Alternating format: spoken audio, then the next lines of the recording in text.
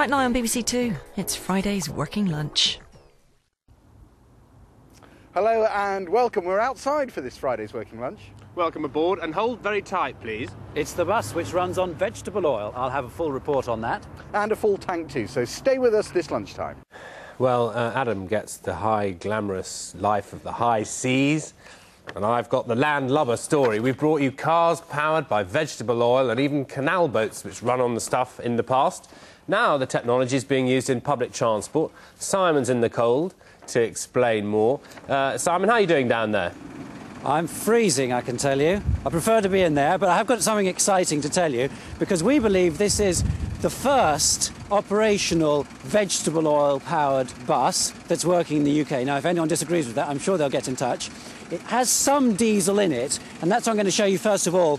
It's diesel filler cap just here because there's a small reserve diesel engine there. We're going to go around the other side and see the other one. But while we go, I shall explain to you why they say this is on a low carbon diet. That's because although vegetable oil, when it's burnt, does produce carbon dioxide, which is a global warming gas, it has been grown from a plant which has sucked in carbon dioxide from the atmosphere while it's growing. So in theory, it's carbon neutral. And also this runs on recycled old used vegetable oil. So here we are is the filler cap where the vegetable oil goes in. That's the main tank which used to have diesel. And that's what the bus mainly runs on. So that's the story of this bus.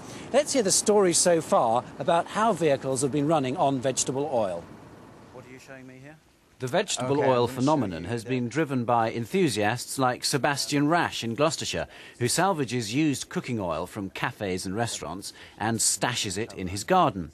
He cleans it up with his own home assembled apparatus and runs two formerly diesel cars and a van on this recycled fuel. This is Sebastian driving one of the cars on the oil, and recently he's driven his van to Bulgaria and back, powered by vegetable oil. But the movement has developed much further. Some firms are organising regular pickups, like this at a pub in Essex, part of a daily round run by JC Fuels.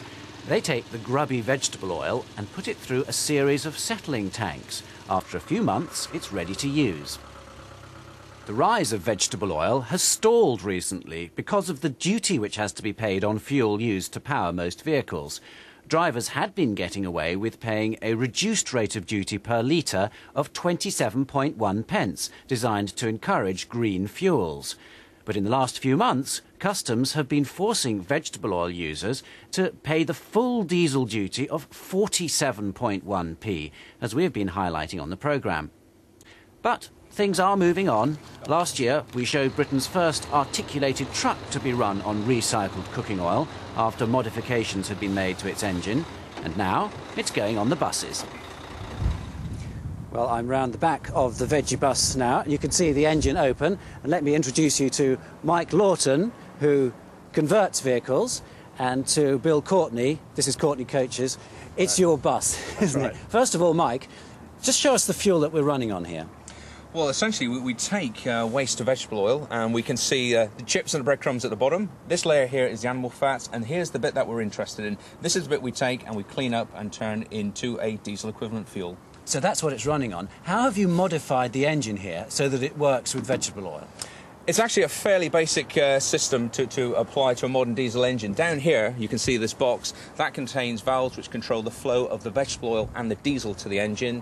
And the main part we've added is this heat exchanger system here. And this actually heats uh, the vegetable oil from waste heat energy from the engine, such that the vegetable oil looks like diesel to the engine. The cost of doing that? Uh, a typical commercial vehicle is around about two and a half to three thousand pounds. Okay, thank you, Mike. Bill, it's your bus, as, as I said, and you've been testing it. What sort of performance have you got out of it with vegetable oil as opposed to diesel? Uh, not only is it as good as diesel, it's actually better. There's no power loss whatsoever, and you get more miles per gallon. You had a bit of a, a bit of an issue with the cold weather, didn't you? Is Yes. it harder to run on vegetable oil when it's very cold? Yes, it is. It, it waxes. Uh, so, you know, all the time these trials are ongoing. Uh, the technology is improving, and now we heat, heat the, the vegetable oil up before it comes through. What about pollution? Because you have to get these maintained, don't you? And when you and tested, and you put it in um, for the normal pollution test, what happens? Well, what happens is that uh, their, their meters don't read it because there's, there's no smoke coming out of the exhaust at all. So we had to switch it back to diesel for them to be able to pass the vehicle for its uh, MOT test. So, what- You're getting zero effectively on Zero some of those pollutants. yes, exactly. Okay, well, let's see exactly what, what it does do. And can we start the engine now to see what happens? Here we go. Right, the engine is running now, and it is running on vegetable oil because we've had it warmed up with diesel already. People say a lot about the way that vegetable oil fumes smell. Let's have a smell of this one. It's really hardly anything at all. The oil here has been used to fry crisps, so it doesn't have the sort of fish and chip smell that it has by reputation. But it's really nothing at all. We're going to be looking inside the bus a little bit later on, but for the moment, I'm going to hand it back to you. Now, uh, we need to check on Simon's, uh, well, where he is, really. He was saw, saw a bus. Where is he? He's probably inside now, I hope. Simon? No, I'm still out in the cold wind, so I'm going to come in and show you the inside of our vegetable powered bus, powered by vegetable oil. And I wanted to show you the front of the bus where Mike, the driver, here is. It's a completely conventional um, control area for the bus. What you can't see is a little readout that he has there, which describes how this thing works. It warms up on diesel. When it's warm enough to run on vegetable oil, it runs on vegetable oil. And then at the end of the day, it flushes out on diesel again. So it does use diesel, but the main fuel is vegetable oil. Let's talk to Bill Courtney, who runs the bus company. Um, Bill, when you say to customers that they might have a veggie bus, a vegetable oil powered bus, what do they say? Well, they're as excited as we are about the technology. Uh, not only is it more economical, but it's almost, it's all, sorry, it's also very environmentally friendly.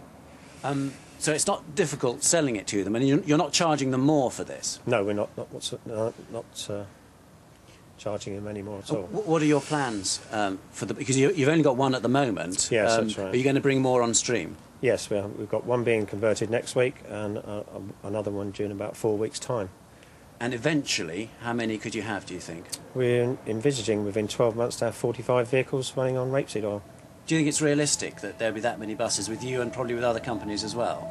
Yes, I mean the payback on it is about eight months as an average, and um, you know that uh, it just has to happen. It has to go that way. What, so you get us. back the cost of converting the bus from the savings that you make on the fuel Yes. within eight months. within eight months as an average. Okay, Bill, thanks very much indeed. Let's talk to Mike Lawton now. Um, you convert the buses, uh, Mike, but there is an issue over the, the vegetable oil uh, that they use, and that's to do with the duty that the government demands. Can you just explain what's going on there? Yes, the situation is very ambiguous at the moment. Uh, there's been no change in what's known as the Hydrocarbons Act, but there seems to be a, a reinterpretation of duty levels on behalf of Customs and Excise. So some people and some producers remain at the lower duty rate, and some are being told they must move to the higher duty rate, which is the same as fossil fuels. So at the moment, you're charging uh, 60 pence a litre for the recycled vegetable oil that you sell to customers, and with the VAT on top, that's 72 pence. Um, what would happen if they slapped more duty on top of that?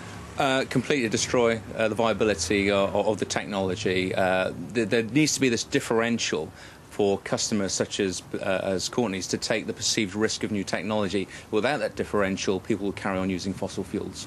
Okay, but look on the positive side. What is the future of this?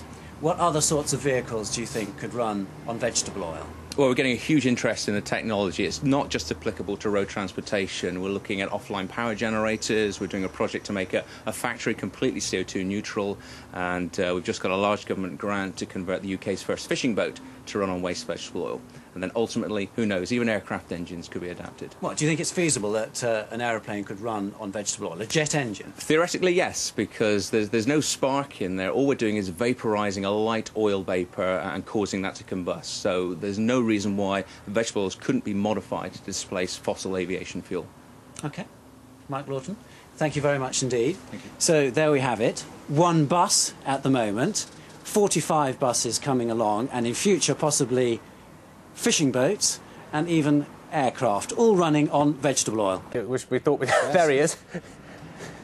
Goodbye from the uh, vegetable oil powered bus. And if any of you have got stories about vehicles or other machinery that you've powered with vegetable oil and want to tell us about it, we're very interested. But uh, I've got a bus to catch, it's just about to leave. and I'm off.